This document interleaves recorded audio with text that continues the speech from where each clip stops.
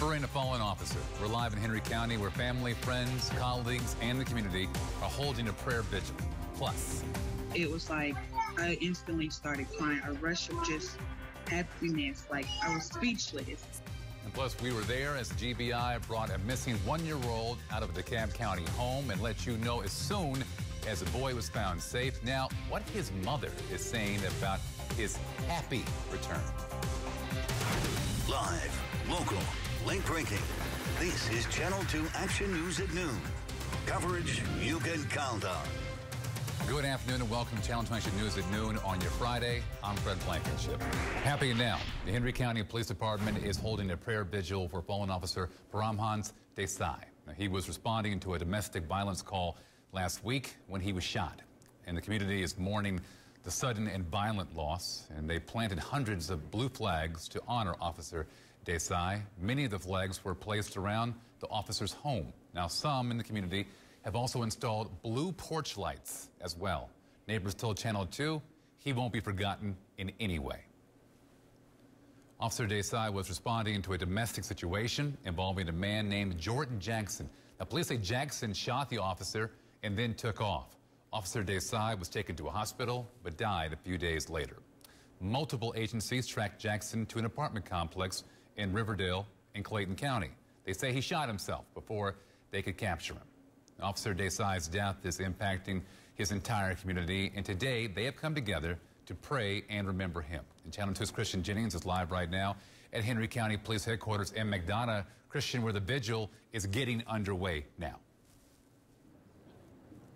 That's right. We expect it to start any minute now. People are still showing up, and this community is in mourning. As you said, absolutely. You can see that uh, people are here to pray for Officer Desai's family, his law enforcement family, and of course to grieve this great loss of a great man, a great father, a husband, and a veteran police officer.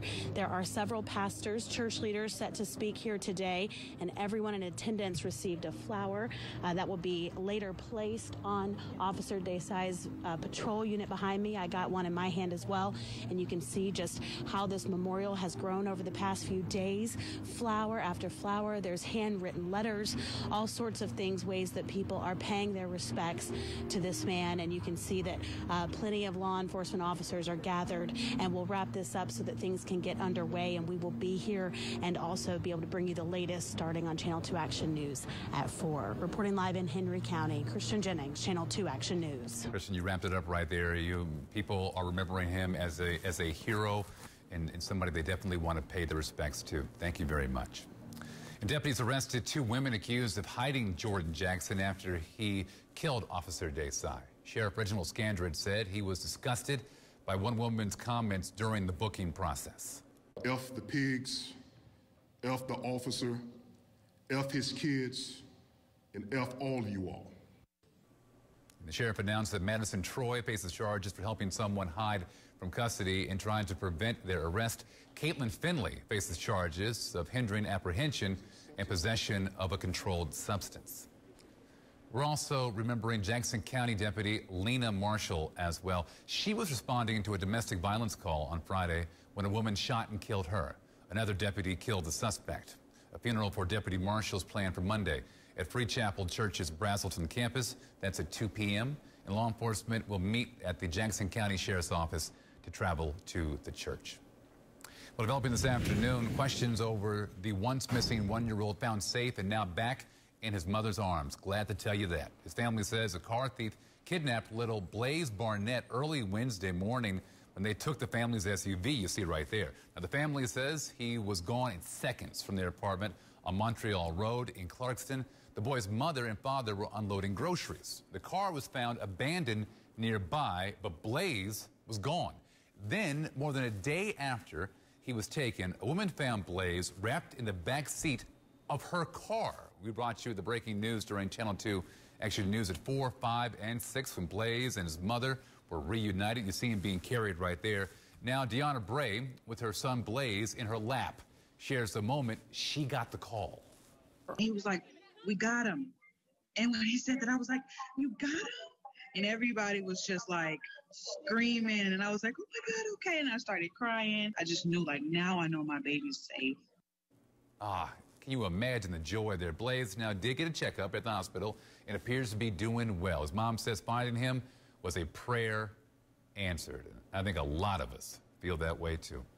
And we'll keep you up to date on the latest from the kidnapping. Local and federal investigators are working this case right now, and Channel 2's Dave Huddleston is outside the Clarkston Police Department.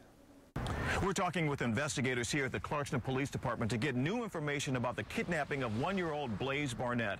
Are there any suspects that they're looking at? Are they close to making an arrest? And how did he end up two blocks from the police department in that woman's car? Look for our reports beginning on Channel 2 Action News at 4. Reporting from DeKalb County, Dave Huddleston, Channel 2 Action News. And we know you still have a lot of questions, as so do our reporters as well. We'll alert you to any urgent updates on the WSB TV News app and have everything we learned starting on Channel 2 Action News at 4 o'clock today. The Cobb County School District will keep its accreditation status. The superintendent said last night the special review team gave them some recommendations which they will need to address in the next year. The review started in February after the district received about 50 complaints. Accreditation is important because it helps parents decide where to enroll their kids. It also impacts home prices as well.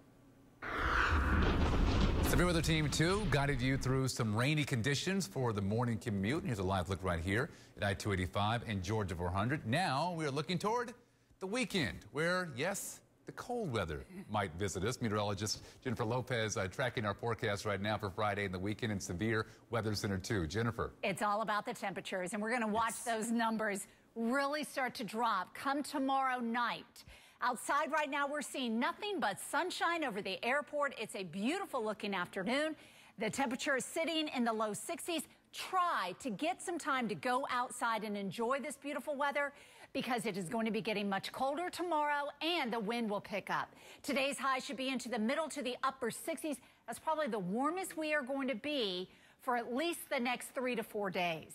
That's right. A big front coming in, and the front right now has a little bit of rain north of Memphis. Now, as it slides into our area, I don't think we're going to see any precipitation from it. But behind it, the air mass is going to drop our temperatures down to the low 30s, and it's going to be pretty close to that freezing mark of 32 here in Atlanta. So starting tomorrow night through Sunday morning, we are going to be watching temperatures fall in the 30s. I'm jumping ahead to 9 o'clock tomorrow night, 42 in Atlanta. But then by 3 in the morning, we're down into the middle 30s in Atlanta. Now, the suburbs are probably going to be to that 32 degree mark by the early part of the morning. And then as we head towards sunrise, we'll have our temperatures still in the 30s. So a cold night in store for us, the coldest of the season so far, coming up on Saturday night. I'm going to tell you, though, how long this cold air is going to last. I'll have your complete forecast for you in a few minutes. Okay, Jennifer, thank you very much. Up again, prices are rising on all sorts of items, especially at the gas stations. So what's causing the hike and when will it end? And on Veterans Day, the moment one fourth grader has been waiting so long for. Let's give her a big round of applause. Oh yeah, we were there for the mother and child reunion. Oh, get the tissues ready. It's beautiful. Plus, COVID cases are leveling off in Georgia, but doctors now say it is not the time to get complacent.